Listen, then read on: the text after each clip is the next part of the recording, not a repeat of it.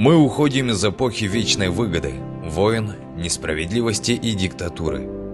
Материальные ценности и нажива, жажда всевластия сменяются эпохой альтруизма и человеческих ценностей.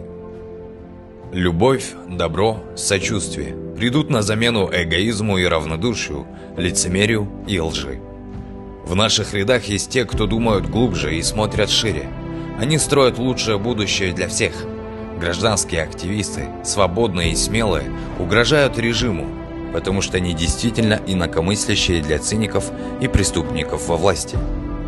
Их сажают в тюрьмы, ограничивают свободу, подвергают экономической смерти и лишают права говорить.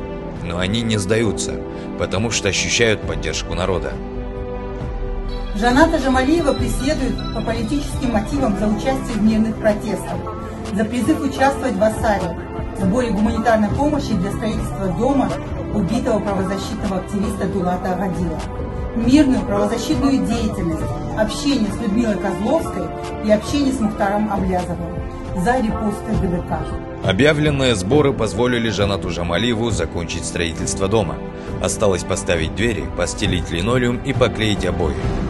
Таком доме будет не только тепло, но и уютно от осознания той доброты и участия наших сограждан, которые помогают личным трудом и финансово. Дом на стадии завершения, и скоро благодаря вашей помощи его большая семья отпразднует новоселье. Его дети и супруга будут счастливы и благодарны, в отличие от власти, которая ненасытна даже при всех своих наворованных у народа средствах.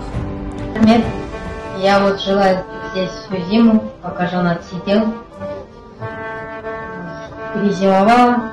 Сейчас благодаря вам, благодаря всему Казахстану, благодаря активистам, вот этот дом делается. Всем рахмет большой от души. Всем желаю здоровья. Спасибо всем гражданским активистам за личное участие. И спасибо всем, кто оказывает финансовую поддержку.